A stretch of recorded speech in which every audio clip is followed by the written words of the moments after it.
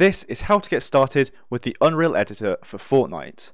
So the first thing you're going to want to do is make sure you have got it installed and if you haven't done that already you can watch my previous video where I go over how to do exactly that. But once you've done that you can come back to this video and what we're going to do is we want to go to our library and find the Unreal Editor for Fortnite and just click it to launch it and open it up like so.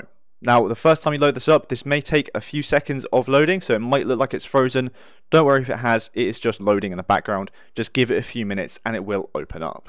Once it has opened up, what we need to do is make sure we just scroll down to the bottom of this. You can read it if you want to, but just scroll down to the end and just accept those terms and conditions.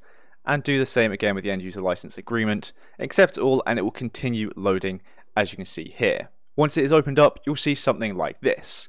Now, if you've used Unreal Engine before, this will look very familiar to you, as that is what it is. It is the Unreal Editor, but just more for Fortnite now. If you've not used Unreal Engine before, then don't worry, this might be a little bit daunting to begin with. If so, then you might want to go over some Unreal Engine beginner videos to help you get more comfortable with that. And if you do want to do that, you can watch my video linked in the description down below and on screen now of how to get started with Unreal Engine 5, as again, that is what this is using. The Unreal Editor for Fortnite is Unreal Engine 5. So you can again see this news tab here. I'm going to press done, but you can go over all of that if you wanted. Now we have some templates here for you to start with. So we have project browsers, so we have Tilted Towers, Greasy Grove, Survival Island. We have loads of different things here for us to choose from or we can go on to feature examples. So we have verse detonation, verse devices, verse parkour. We have so many different things, and we also have our own projects here once we've created them. You can also see here we have getting started, docs, and community, which will take you onto different web browsers for you to be able to look at these as well. So it will take you on to the Epic Games dev community for you to read all this stuff if that's what you wanted to do as well to help you get started. But what I'm going to do is just go into island templates and I'm going to pick a random island. So let's, for example, pick Tilted Towers Point of Interest Island. I'm then going to change the project location because I don't want it on my C drive. So I can press this little folder icon here to browse for a folder. And I'm just going to put this into my Unreal Engine projects folder as well. And then I'll name this one Fortnite Tilted Map, for example. So then you can check or uncheck Unreal Revision Control, which essentially means you're not going to overwrite someone else's work and they can't overwrite your work. And you can select a team here as well for me, I obviously don't have any team set up, so I'm going to have no team, just you. But if I did want to create a team so you can work with other people on this as well, you can press create a team. I'm not going to bother with that, so let's just hit create down here, and we're going to be creating this project we've just set up. So it might take a while to load, but don't worry, that's most likely just because it's your first time having it load up. But once you do load, you will see something like this. You might be really far out and you'll want to get closer. So to be able to move in the viewport, Hold down right mouse button and you can move the mouse like this, and then use WASD to move the mouse. However, you'll see we're still moving really slowly. Now, what you can do is use your scroll mouse wheel to speed up the camera, or go to the top right and increase the camera speed like so. Or if you want to go to a specific location, what you can do is select an asset and then press F, and you'll be taken directly into it, perfectly like so. Now still a little bit laggy because it's still preparing the shaders for me at the moment, so I'll wait for it to finish doing that and I'll get back to you. So my shaders have finished preparing, and as you can see we're now in the Tilted Towers area on Fortnite. So let's go over some of the basic controls here. So in the top left we have scalability, for me it's high, but what you can do is set it to low, which will then obviously make it run a lot better but won't look as good, so we'll just let that load for a second. And when you do change it, it might need to prepare the shaders once again, as you can see down here, but this will then make it run a lot more smoothly. So this is good if you're on a lower end PC, for example. As you can see perfectly here. And if we go back to our scalability, what we're going to do is set it to auto, and that will set it to the best settings based upon your system. So for me, that is going to be epic, as you can see here, which is the highest because it won't go to cinematic unless you currently set it to be that. So now we've got the scalability working perfectly for our own system. What we can do as well is you see we have the perspective tab up here this will allow you to go into different views, so we can go to a top view, a right view, and this is especially good if you want to put things in specific locations. And you see we're also in wireframe mode as well. I'm going to go back to perspective. To the right of this, we have lit. I'm going to go to unlit, so if you don't want any lighting, wireframe if you want to see all the different wireframe stuff on here. This is all going to make a lot more sense if you already know some stuff about game development already. We have lots of other things on here as well. For example, player collision can be a very useful one, so you see what the player can actually collide with. So if you're getting stuck in a certain area, looking at the player collision might be useful for you. I'm going to go back to just the lit tab as that is what the player is going to see. We can then also go to show and see all the different things here to be able to show and see in the editor. And we have the time of day, which is also very interesting.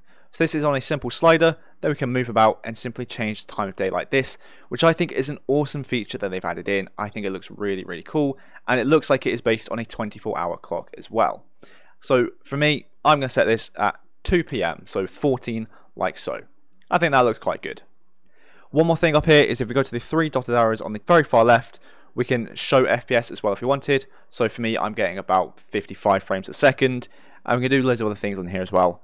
But that's going to be the main one you're going to want to look at. One more thing is if you press Control Space, you're going to open up the content browser. That is what we have here. So at the moment, the only thing I've got is all. So we go back here, we have Epic, Materials, Epic Base, Concrete. So you have all the different materials in here like so. Then you have Fortnite, which is going to have loads of different things in here from Fortnite. So, for example, consumables. You, so you're going to have an airstrike. You can go into devices where you have the storm controller. You can go into graybox where you have stuff to be able to graybox. Which, if you don't know what grayboxing is, it's essentially where you can plan out your level without putting in all these specific assets. So there's loads of things in here for us already. So the ones which you'll probably find the most useful are meshes where you can then see all the different meshes in here. So there's not a lot for me, probably because of the map I selected, but we have some in there. And we also have prefabs. So for example, all these different buildings and a castle and anything else which we want to just put straight in, we have these prefabs for us already that we can just place in wherever and whenever we want. And also, I'm sorry I mentioned the meshes, there's not a lot of them because of my map. That doesn't matter, you're going to get the same no matter what map is then the next folder, the Fortnite Tilted map content, which is specific to this map, which at the moment is basically just the map and the level in there. So press Control Space again to close the content browser like so. And if you want to know how you can actually play the games to test it out, you'll notice there's no play button. The play button is actually the launch session. So we'll press launch session here, and it will ask you to save everything, it will just prompt you to do that, so make sure you do save it and then once it does that it will then launch a session for us to be able to actually test out this map and play it in Fortnite. So once again it might take a few minutes to load but once it does load we will be able to see it. So as you can see it is now actually launching Fortnite. So this doesn't do it in the editor, it actually launches it in Fortnite which I think is a great feature because you're going to be able to see how it actually looks and runs in game. Because if you use Unreal Engine itself, you will know that how it looks and runs in editor is always different to in game. So the fact that this is already done in Fortnite makes it very, very good for us. So we're now just connecting to Fortnite itself. And once we've connected, it will download everything, which you saw that for a split second as that did it quite quickly. Now I do want to mention as well, as this is taking quite a while and it probably will be for you as well. Don't worry, that's mainly just because it is the first time doing it. First time doing things is always the longest. After that, it's kind of stored in the cache and the memory, so it's done a lot, lot quicker. The first time is always the longest. So once it's loaded, you'll see we are now here inside of Fortnite in the map in the level we have just created. So we can then walk around and have this working perfectly. But you can also notice we can actually move stuff in here as well. So you'll see in the left there it says aim at an object and press a slot button to copy it there. So let's press 1 and we now have a rock in our one slot. And if we to press 1 somewhere over here, we can see that we can actually then have it equipped. And if we press left click, we're going to then paste it there. So we now have a rock down here instead. Obviously that doesn't look great there because it's floating, but you get the idea. So what we can then do is hold F to push it away, hold C to pull it in, hold R to rotate clockwise, hold Z to rotate counterclockwise. All these controls are on the left as you can see. We can press tab to change where we are going to be rotating. So we can then do it on the yaw instead like this. And we can do tab again to keep changing it. And we can press V to add in a grid. So if we to place this down now, this is now going to have a grid attached to it. And if we press V, we can toggle the collision. So at the moment it's on everything, then it's on terrain only, then it's on nothing. So we can actually place it wherever we want now. So this will look a little bit better. Play that there we now have just a rock coming out of the ground like so. So that looks great. If we press B, we can look at some different options on here as well. So a lot of this is pretty self-explanatory, but this is pretty cool. So this isn't just playing the game, it is also allowing you to edit it in-game so you can see what it is that you're actually doing in the proper perspective of what the player is going to see. So if I just right mouse button, we're going to exit that like so. Then we can run over here into the actual proper part of the map and do the same thing if we really wanted to. So if we were to go over here, for example, and I wanted to get this ice machine, whatever it is, we can then do the same thing. So we can left click to copy it, and then left click to paste it there like so. Let's say, well actually I don't want it there, I don't like how that looks. What I'm going to do is exit this, hover over it, and then right click to cut it, and it's no longer going to be there anymore. I'm going to exit that once again. And you can do this with absolutely anything that you want. If we press tab, we still have our inventory here, which is now going to include prefabs, galleries, devices, weapons, anything that you want. So, for example, if I wanted to put in the Slappy Shores Slap Factory, I can do exactly that. I can then open that, and I can then access all of the different modular assets that make up that factory. So I can get, for example, this wall, and I'll press place now, and I can place that wherever I want. And you can see this is snapping to a grid, so it's going to be placed exactly how and where we want. So you can then have modular building with all of the stuff in here. If I were to go back, select it again, I can equip that, so then I now have that on my 2 slot. So if I were to get out of the inventory, press 2, you can see we can now place down the building itself, which is absolutely massive. So if I to just left click, you can see what that's going to do. So let's pull it a little bit closer by holding C, and then I will left click, and we can see that that has now placed down the entire factory over here. So I don't have to do it modularly, I can actually just place down the entire building. And then let's just put a rock out here as well, rotate it, put another rock, and then we have some rocks outside the factory. Obviously, I'm making something which looks terrible here. I'm just getting across the idea that you can just make whatever it is that you want inside of this very, very quickly and easily. And you can see we're walking around. And again if we wanted to change this I could get rid of this wall and I could replace it with a different wall. So I could then copy this one over here and move it over there if I really wanted to. I don't but if I wanted to I could. Then if we press M we can open up the map perfectly like so. So a lot of this makes sense if you've played Fortnite before. It's all the same and all makes perfect sense to you then if we press escape what we can do is start games we can actually play it we can respawn we can go to the settings whatever it is but I just want to quit this, return to lobby. Yes, we're going to leave this and I'm going to go back to the actual Unreal Editor for Fortnite. You can see in the bottom right now it wants to save 2,000 items as that is what I've placed into the level.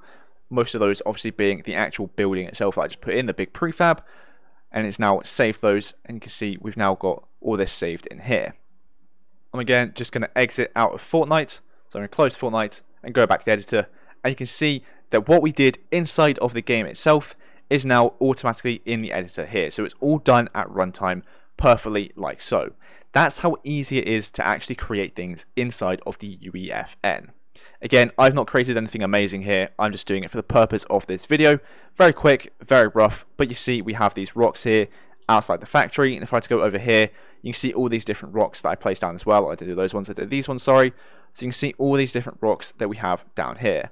You see there as well, I've got 1135 frames per second in that Fortnite editor. So you can see it is very, very efficient and it does run very well. Up in the top right, you can see project size 2%, so there is a maximum amount you can put into each level, but 2% for everything that I've just put in over there, put in two massive factories, that's not bad at all. And if you click on it, you can actually open up to see what's taken up the most space. So you can see at the moment the majority of it is just the materials. But I think that will probably be it for this video. I'm not going to be going over too much today, and if there are other things that you think you want me to cover or you want to know and understand about, definitely do let me know in the comments down below as I'll be happy to make a video covering anything anybody wants me to cover. And again, if you're not familiar with Unreal Engine, it might be useful to look into that as well, as obviously this is the Unreal Engine editor, but this is now more streamlined and specific for Fortnite, rather than including everything else in here as well. But thanks so much for watching this video, I hope you enjoyed it, and if you did, do make sure to like and subscribe down below.